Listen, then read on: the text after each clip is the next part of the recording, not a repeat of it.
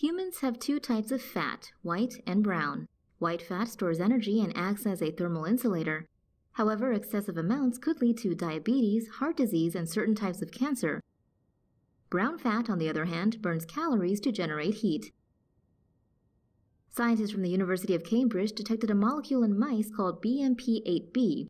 This protein controls the activation of brown fat in the brain and body tissue of mice. According to their study published in the journal Nature, they analyzed mice that had been bred to produce higher levels of the molecule in fat tissue. Researchers discovered that increased levels of the protein caused white fat to become beige or turn brown, burning more calories and generating more energy as a result. They concluded that it could be possible to create a drug that alters fat function in humans just as the BMP8B protein does in mice.